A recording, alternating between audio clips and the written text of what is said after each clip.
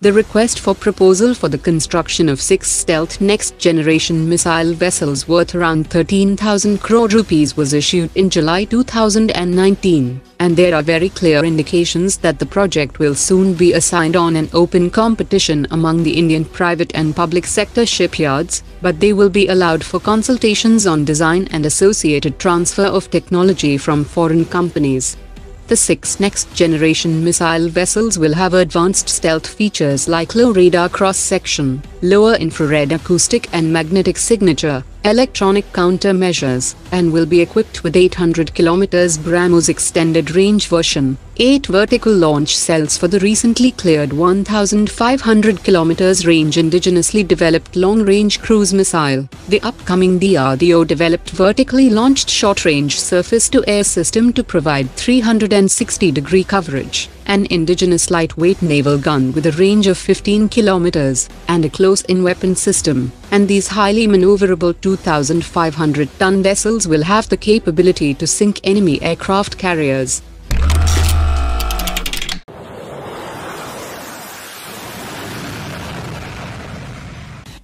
Amid the reports that the Indian Navy might lease a squadron of FA-18 fighters, Boeing has announced that its FA-18 Block 3 Super Hornet has successfully conducted a ski jump launch today, demonstrating its compatibility with Indian aircraft carriers, and has pitched the latest variant as a platform for naval cooperation with the US Navy. A former Defense Ministry official has said that the deal for local production of 6.5 lakh AK-203 rifles is stuck due to flawed planning of the Army and the rigid procedures of the Defense Ministry. Industry officials have said that the issues on price differences, higher indigenization and technology transfer could not be resolved during Defense Minister's recent Moscow visit in September 2020, after which a costing committee was created, and its report has still not been submitted to the Defense Ministry.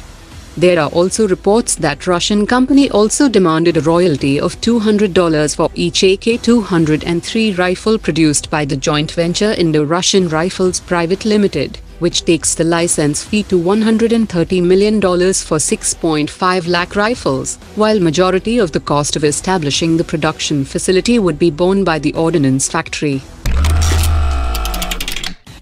The Indian Army has said that the indigenous advanced towed artillery gun system will have to prove its worth in the upcoming winter user trials in January 2021, followed by the mobility trials in February and summer trials in June 2021.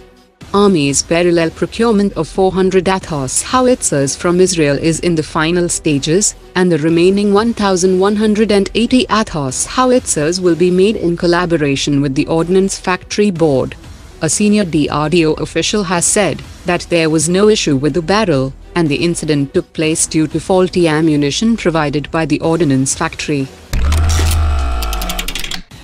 Saudi Arabia has said that its plan to invest over $100 billion in India is on track, and discussions are underway to prioritize investment opportunities in several sectors in both countries. The Saudi ambassador has said that Saudi Arabia values India as a strategic partner and a close friend, and the setting up of the Strategic Partnership Council by the two countries has opened new avenues of cooperation in several sectors including defense and security.